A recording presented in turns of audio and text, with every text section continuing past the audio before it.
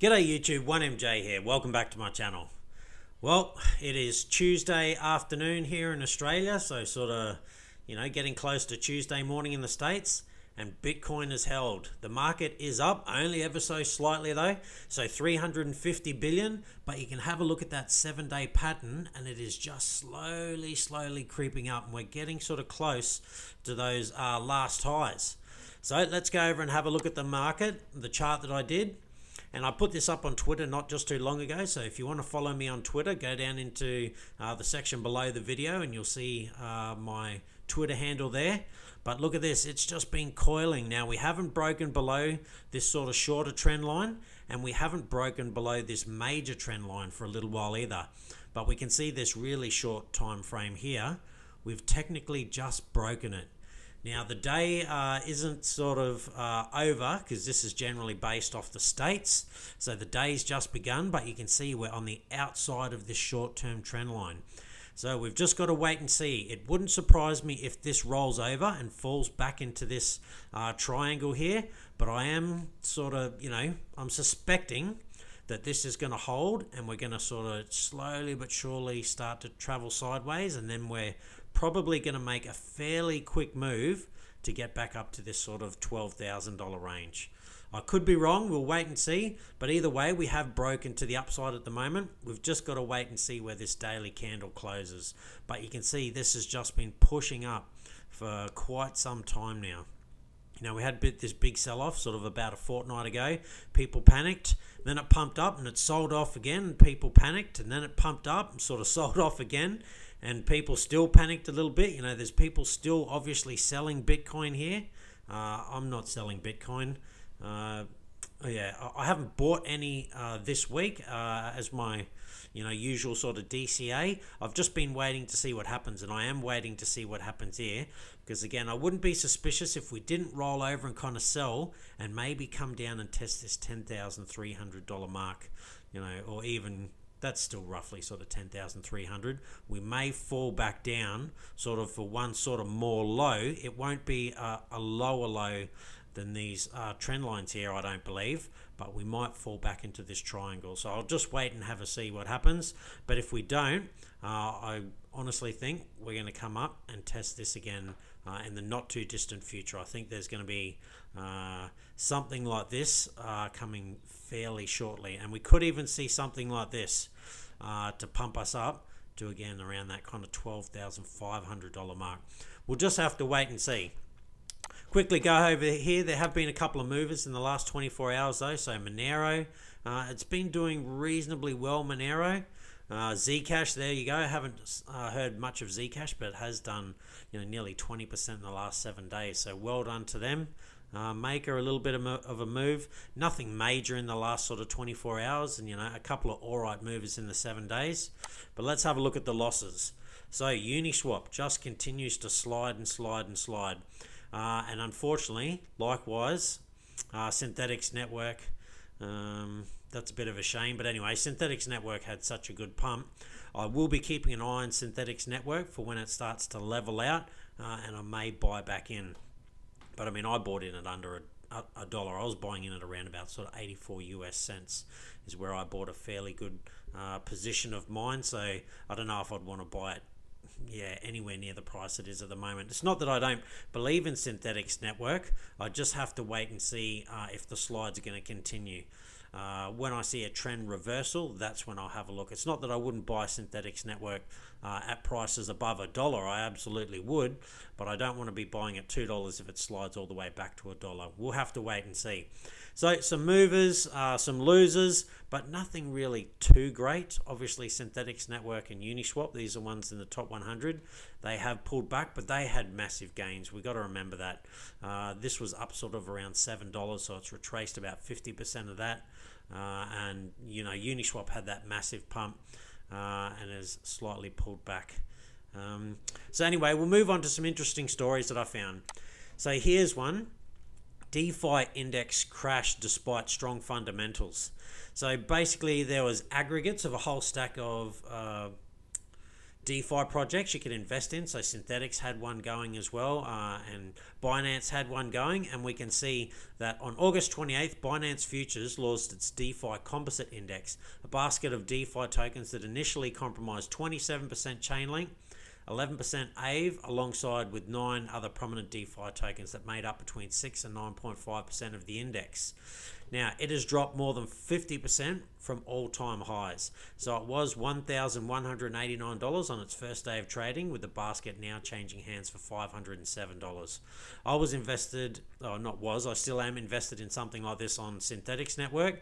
Uh, it was their uh, iDeFi, no, not iDeFi, SDeFi or something like that. I can't remember. I haven't used it for a while because the ETH prices have been killing me. But it'll be interesting. I'll have to get back in because uh, it might be another good time to sort of buy. I don't think DeFi is dead by any stretch of the imagination. Uh, it's just waiting for everything to sort of, you know, rebalance itself from all these large highs. So this will be interesting to keep. Um, keep keep an eye on if this is the kind of thing you're into. Uh, now I don't use Binance as one. Uh, I may in the future. We'll have to have a look. I've used. Um, yeah, I've, I've used the one from Synthetix Network, but those gas fees have been killing me, and I'm pretty sure uh, Binance don't have very high gas fees at all. They're quite low, so this is something I might have to have a look at. But interestingly enough, so DeFi index have crashed, but MetaMask hits 1 million monthly users thanks to the DeFi boom. So almost in contradiction, but not quite. It's just the indexes. So that's just the price of uh, the DeFi, you know, platforms readjusting from their big pump. But people are still into DeFi, and a lot of the DeFi at the moment is more the stable coins, though. So a lot of stable coins are being put into uh, DeFi platforms at the moment. And Yearn Finance does have a new one coming out, and we'll have a quick look at that a little bit later.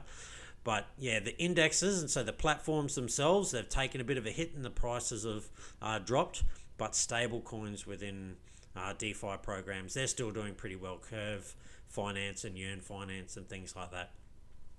So yeah, slight contradictory that you know DeFi indexes are down, but uh, DeFi use is up and it's mainly the stable coins that are really kind of doing well at the moment. And that's because people are unsure in the market, hence why the prices of some things have been going down. But again, we go back to here Bitcoin has just been coiling. And so that's an unsure market, and people are waiting to see what happens before they start to get back in. They're waiting for a trend, uh, not so much a trend reversal it's waiting for a trend to make itself known because at the moment it's just up and down it's sort of all over the place. It's either going to break to the upside or to the downside and that's what people are waiting for. All right another one another good story. So sec brings john mcafee to court over ico promotion. So back in 2017 i think even a little bit of 2018 uh, John McAfee was, you know, spruiking all sorts of uh, ICOs, uh, and he was just shilling them. He wasn't truly invested in any of them, and he's even come out and said that he was just paid, you know, a Bitcoin, two Bitcoin, whatever it was, and he'd shill just about anything. Uh, and a number of them uh, were yeah, they were basically sort of scam exit coins in the end. So looks like he might uh, have an interesting time ahead of him, but uh, I'm not sure where he is at the moment and whether they've actually arrested him. It may be just you know. Uh, a notice for him to appear and whether he does or not will be pretty interesting. He's a pretty out there kind of dude. Uh, does like his drugs uh, and women. and look, you know, I'm all for the women part. You know, the drugs part, uh, not so much. That's not really my thing. But it'll be interesting to see what happens and whether he's made an example of.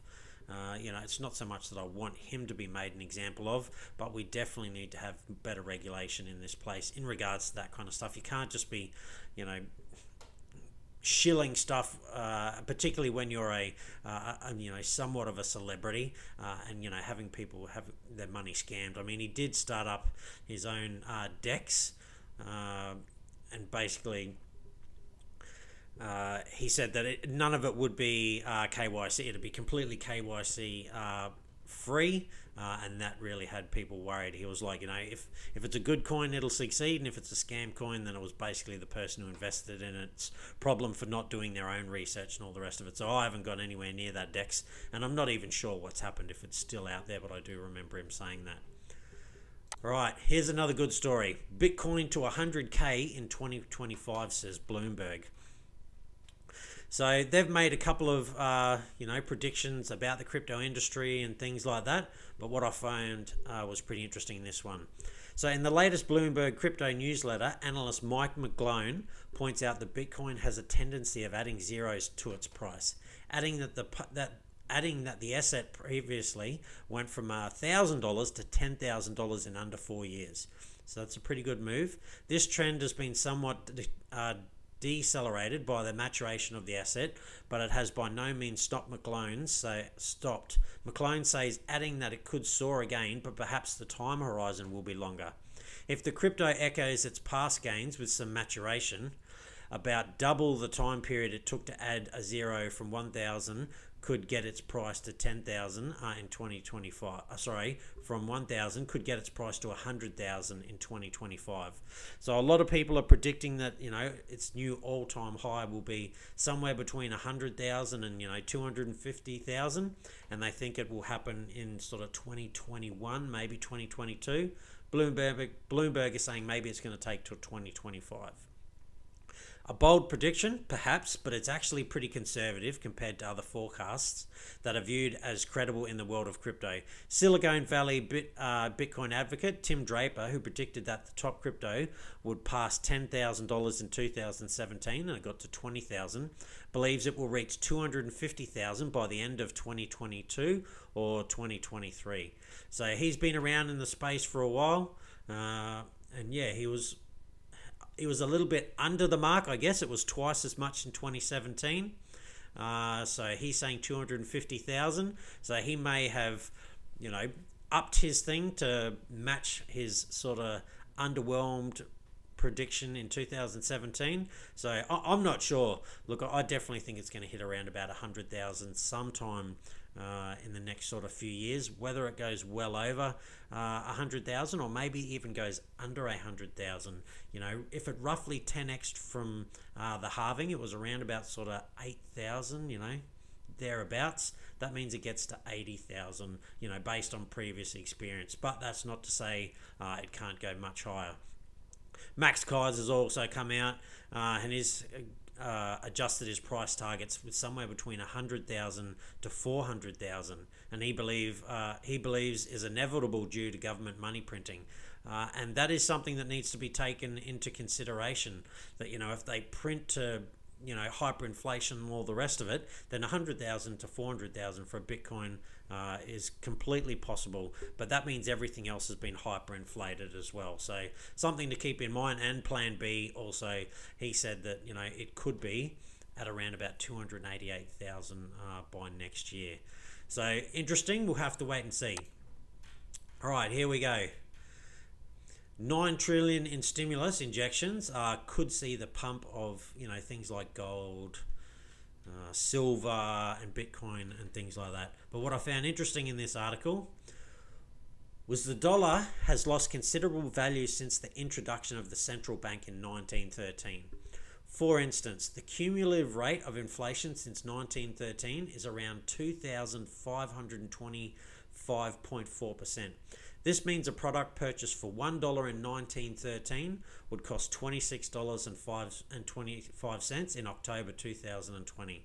Precious metals and cryptocurrency proponents believe the central bank's pumping will bolster assets like Bitcoin and gold. Pantera Capital CEO Dan Morehead explained in July that the company believes cryptocurrencies like Bitcoin will help people with the global economic outcome. The United States, the United States, sorry, the United States printed more money in June than in the first two centuries after its founding. Morehead wrote in a letter to investors, last month the US budget deficit, 864 billion, was larger than the total debt incurred from 1976 through to the end of 1979. On the same day, Pantera Capital published the letter called Two Centuries of Debt in One Month. The 22 year old 22 year congressional veteran Ron Paul told the public that America should be prepared.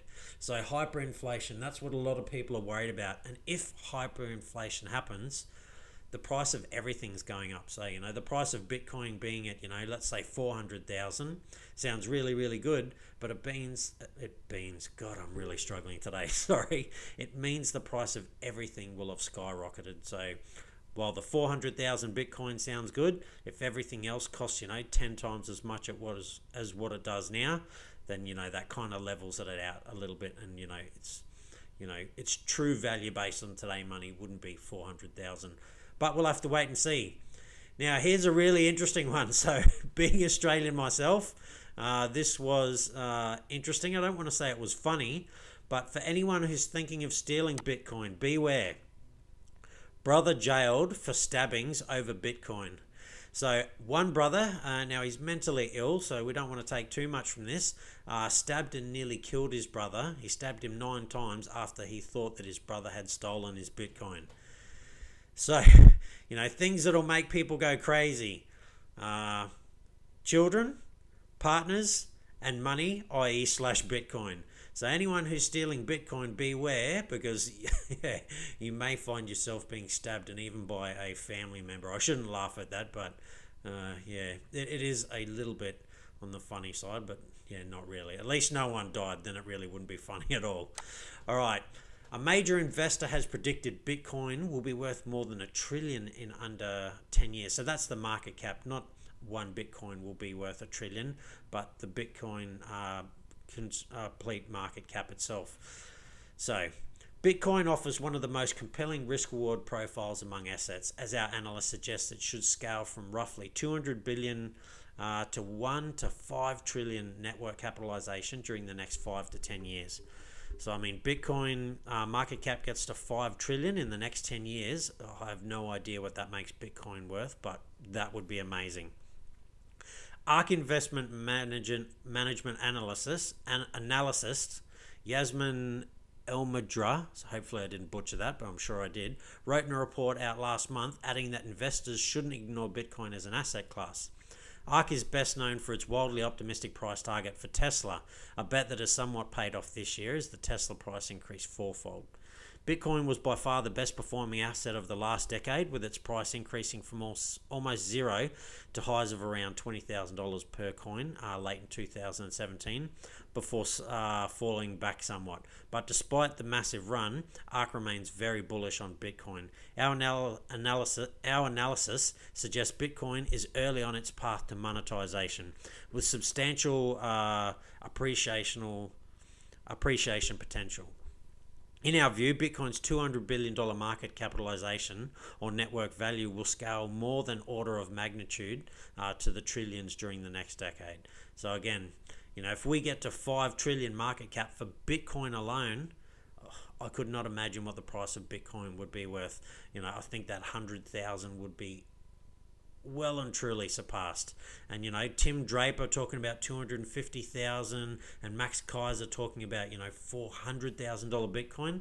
Well, if we're getting up towards 500, uh, 5 trillion, uh, 250,000 would be uh, well within the range, I would think. And even, you know, maybe a million dollar Bitcoin and you know plus I have read stories of some people thinking that you know Bitcoin could be worth you know 10 million or 100 million you know in decades to come. So yeah with a 5 trillion dollar Bitcoin market cap be interesting to see what they think the price would be at that. All right so crypto for Congress. Bitcoin is being sent to all Congress members. So this is pretty interesting. Uh, I didn't highlight it that's right. So the Crypto for Congress initiative has launched. All members of Congress will be given Bitcoin as campaign contributions to help them learn about cryptocurrencies. I think this is brilliant. Now, unfortunately, I think a majority of them will probably just sell it and won't understand it, and they'll just take the money or just simply lose it because they just don't have the time to, you know, look into it. But this is a good way to get them started. At least it'll get some who don't really know much about it interested and they'll at least have a look at it. They may still hate it, but I would say the chances are it'll you know increase the exposure of cryptocurrencies and it'll have more people uh, in higher places at least uh, known and understanding about how it all works and this will only add to adoption. So the Crypto Congress initiative has launched. The Chamber of Digital Commerce announced on Monday Today, all members of the United States Congress will receive a campaign contribution in Bitcoin as part of this initiative. The announcement details uh, there are 535 members of Congress, 100 serve in the US Senate, and 435 in the House of Representatives. The Chamber, the Chamber of Digital Commerce Political Action Committee will provide a $50 Bitcoin contribution to all 535 members of Congress. So there you go. They're all going to get $50 in Bitcoin. They're obviously going to have a Bitcoin wallet uh, made from. They will be given the you know the keys and all the rest of it. So it'll be interesting to see what they do and whether you know a lot of them just sell it, and you know some of them unfortunately will probably lose it. Uh, and you know again whether this starts to lead to the real mass adoption uh, that Bitcoin really needs to you know be the world currency that some people talk about. You know, it's got a lot of scaling issues that it needs to sort out before that will ever happen. But excuse me, this is a good step in the right direction. So I'm really happy to hear about this. Hopefully, Australia and other uh, governments get on board and do something similar. Now, last but not least, Yearn Finance. So they're coming out with a, a new sort of platform. And basically, it's going to be called uh, YFIC. So, Yearn Finance Connect is a decentralized token under the ERC20 protocol that allows users to stake YFIC, borrow assets, and vote for improvements in the community. So, if you want to get involved, uh, the details are here. Again, you can go to bitcoin.com uh, and have a look. Uh, and they're going to airdrop some, and only some tokens are going to go to uh, the team. And, you know, there's going to be some airdrops. So, there's 50,000 that are going to be airdropped. Uh, so, this is something interesting to have a look at. Uh, Yearn Finance has done pretty well. Now, the token itself has come down. I will go over here and we'll just refresh. It's been on a bit of a downward slide for a while, but uh, maybe it started to pump up again. I think it's around about number 37. Let's go down and have a look. Yearn Finance, where are we? Yearn Finance. So there we go. It's on a steep decline at the moment, but again, everything's on a steep decline, really. There's only some things that have generally done well uh, over the last sort of few days. And again, this is just the last seven days. So Yearn Finance is something that I'm going to be keeping an eye out for. Uh, I'll probably get into some Yearn Finance. Again, once we see, you know, what's happening with the market, once the trend changes, because the trend has been, you know, on the downward slide for uh, a number of the altcoins for a while. Uh, Bitcoin, you know, still over the last little while is on the downside, but again, you know, it's starting to look like it's punching to the upside. So something for everyone to uh, consider, have a look at. Again, nothing what I uh, talk about and say on here is financial advice. This is just my story. This is what I'm doing and my thoughts. If you want to do the same, uh, you know, make your own decision, but don't uh, think that what I do is uh, financial advice. I am not a financial advisor, but I know a thing or two about the crypto space. Not everything. I don't consider myself a genius or an oracle, but I'm working through it like everybody else. If you like, if you enjoy my content, please hit the like button down below. I am trying to, you know, get um, my videos seen by more people, and that really helps with the algorithm. Also, please leave a comment down below if there's something you want me to cover. Uh, I can have a look at that. I generally just do market updates and things that I see, but I will start to do a few more reviews. I've done one or two. I did one on uh, Synthetix Network. I had a look at uh, the Kava Kava Harvest IO that's coming out soon, uh, and I'll do some more follow up ones as well. Well, anyway, that's it from me. Stay safe, be kind to one another. Hopefully, you're on that gain train. There are some gains to be made there, and I'll see you next time.